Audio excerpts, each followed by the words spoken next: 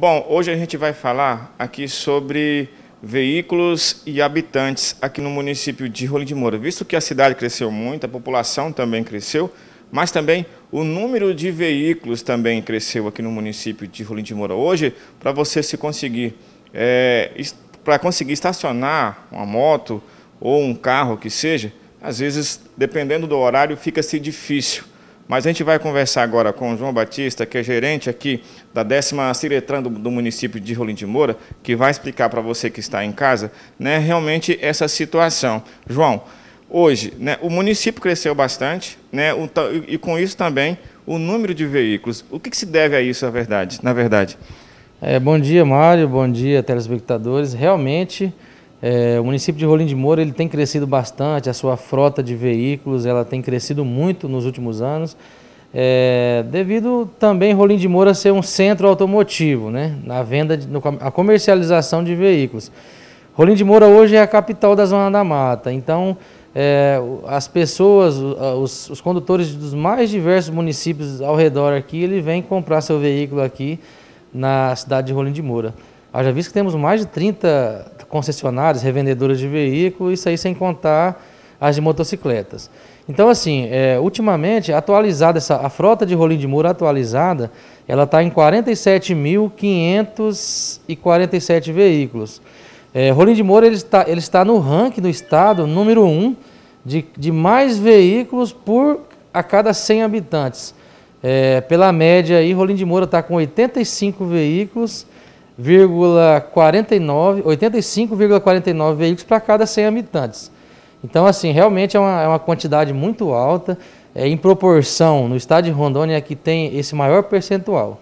Agora, João, hoje também, né, pelo que a gente acompanhou, hoje existe mais motocicletas do que veículos, automóveis aqui no município de Rolim de Moura. Isso, isso aí é, Mário, não só em Rolim de Moura, né? Rolim de Moura, cerca de mais de, de 60% do, da frota é, são motocicletas. E essa, essa realidade ela está presente em todos os municípios do estado. A, a, motocicleta, até porque é, por ser um objeto de mais fácil acesso, mais econômico, uma, uma motocicleta é um objeto de trabalho, então acaba que ela, ela, é, ela compõe a maior parte da frota, não só de Rolim de Moura, mas do, do estado de Rondônia.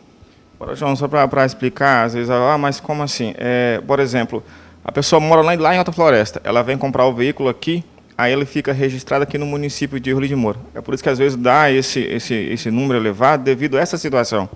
Também, Mário, também, porque várias concessionárias aí, veículos zero, é, que vendem veículos zero quilômetro, ou até mesmo veículos usados, é, eles, eles fazem é, diversas promoções de dar o documento, de dar o veículo emplacado, de entregar o veículo documentado, ou muitas vezes as pessoas têm residência aqui, né, a, a, algum parente aqui na, no município acaba é, deixando o veículo com placa daqui.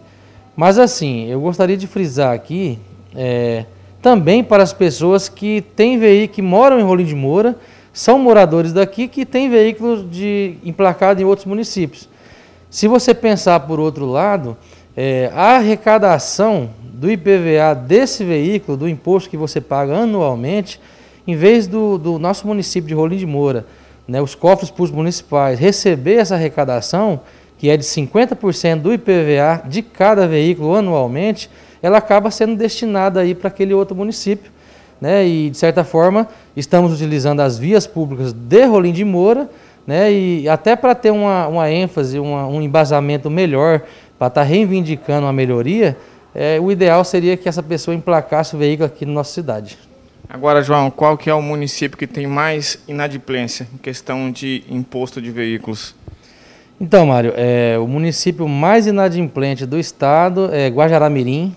Cerca de 45% da frota lá está, está inadimplente. Em Rolim de Moura, a inadimplência está em torno de 32% da frota. E o menos, já que você perguntou mais, eu vou falar o menos inadimplente, é, pimenteiras, com cerca de 19% apenas da frota inadimplente. No caso, chega a ser algo preocupante, né? Porque a pessoa compra o veículo, mas deixa de contribuir, deixa de pagar né, os seus impostos. É, mesmo o governo tendo aí estendido né, o, o, o prazo em 60 dias, dois meses após, para poder estar tá regularizando o licenciamento, mas mesmo assim essa inadimplência aí é uma média geral no estado, cerca de 30% aí a 35% é uma média estadual.